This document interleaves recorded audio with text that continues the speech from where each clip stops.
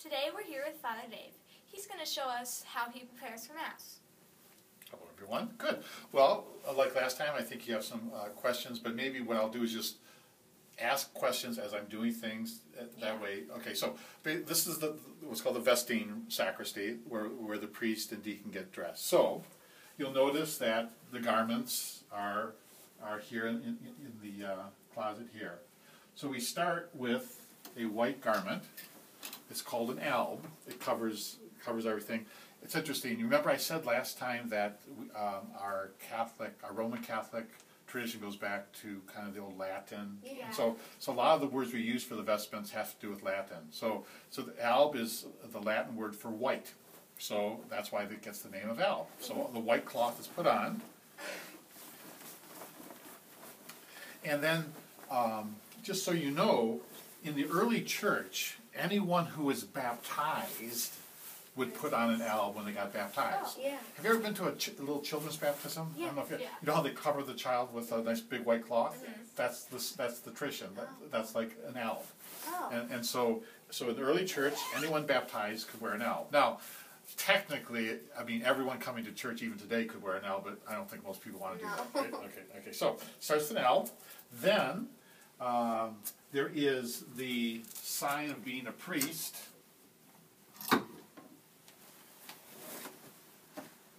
And that's called a stole. It's it- almost like a scarf, but And guess what the Latin word stole means? scarf. scarf. and so it's the co- we talked last time about the color, you know, the, the, the, the seasonal color. So let's pick for the seasonal color. We're in ordinary time right now, so so we're green. So uh, the stole's put on. Now in the old days, again, the stole would have been um, a sign of. Uh, a, a rank, like the Roman senators would wear stoles one way, and, and, and different ranks would wear different color stoles. Yeah. And so, uh, in the church, when you began to have priests, bishops, and deacons, they had stoles that kind of showed the rank of the of, of the clergy. Uh, deacon Francis will wear a stole like this to sign as a deacon. The priest wears a stole straight down like a scarf. Then, same color of the season. It's it's an outer garment called a chasuble. You've seen me wear this before. Yes, and so uh, it's again a Latin word meaning little house because it's like you know this like Yeah. and in the Roman times, it would just this would have been um, an outer garment to, to keep you uh, from the weather. Uh, a lot of people would have outer garments, and so and so what ended up happening was things that were worn for different reasons became uh, have special meaning when it became used at the mass. So uh, an alb, the uh, the uh, stole, and the outer garment called the chasuble. So the priest now is dressed and ready to go. Nice. What about the altar servers? Altar servers uh, wear an alb. Oh.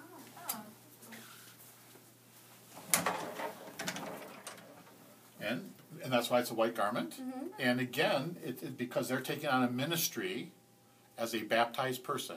So, t- so again, technically, anyone who would be doing a ministry would wear an alb. But for practical reasons, lectors and communion ministers and ushers generally don't want to do that. So, Yeah. so, so it comes down to the priest wears an alb, the deacon wears an alb, and the altar servers wear an alb. Oh, okay. That's really interesting. Okay, so would you like to go see all the vessels and things like that? Sure. Okay, great. Now we're in the sacristy where all the vessels that are used that are used for mass, Yeah. uh, and they're stored in the different cupboards here. Uh, so why don't we just go through uh, what a, sac- a sacristan is a person who gets everything ready for mass. What a sacristan would do. So they want to make sure that there's a chalice, a main chalice. Yeah. The Latin word calix means cup, just means cup. So uh, there's a chalice, and then there is a rectangular white little cloth called a purificator. Like it sounds, it's to, so you can clean Yeah. the chalice. Okay, so the purificator. Then there is a square kind of cardboard covered by a cloth called a pall. Uh, this actually, and this is true, is so that you keep flies out and things like that. so it's, it's just a, Yeah. so bugs don't get into there. Yeah. When we have wine, sometimes you know things like that. And then uh, to, on, on top of that will be what's called a corporal, a square cloth. It's a larger cloth, and it gets unfolded at the center of the altar, so that so that everything gets placed on the pall, uh, and, it's, it's, and, and the center of the altar, everything gets placed on the center of the altar. So we need the chalice with all these cloths. Then they need to make sure that there is a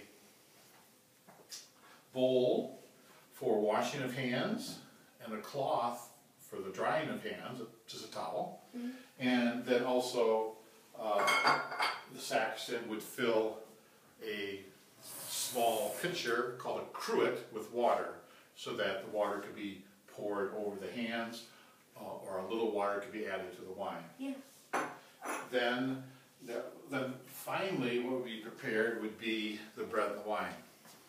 So, uh, depending on how many people were at mass, you, you, we usually have one big hole so people can all see it. And then, as, are those in packages? as many little hosts as needed. They're kept that way so that they can stay fresher that way. Oh, So we kind of, we kind of guesstimate how many people will be at mass and, and we receive communion and we have enough hosts for them. Um, And then the amount of wine, if there's going to be, uh, uh, communion can be under one or both forms. Generally with children, of course, at children's masses, we just have it under the one form because we're not going to be offering the One. the blessed, the, the consecrated wine to the children. But at all the Sunday masses, uh, there's the option for, uh, for people to receive from the cup. And so a certain amount of wine will be, uh, brought up during the offer, offering of the gifts, and it would be put in a pitcher so that, uh, it could be poured into the different cups. Oh. One other thing that you might be interested in, we do have what are called pyxes, P-Y-X. Uh, it's a, it's a great Scrabble word, by the way, P-Y-X. Uh, if someone has someone who's sick at home and needs to bring communion to them, they need a container that, that they can hold the sacred host in, right? So, so they place the uh, consecrated host in the, in the container here, and then they can take this to a homebound person or to a nursing home person, and then they, they can receive communion as well. I like that. And I'm just really, this is really cool that how these are over here are just packages of small little wafers. Right? But then when they're best blessed, then they're they become the body of Christ. That's really fascinating. Right, so, uh, so for, from our Catholic understanding of, of, of the sacrament, it's that Jesus took bread, blessed the bread, broke it, gave it to his disciples, and said, this is my body. And then he took a cup of wine and said, this is my blood. So, and then, and that was saying, do this in remembrance of me. So we are doing what Jesus asked us to do. And so the church has always believed that you have to have bread and wine.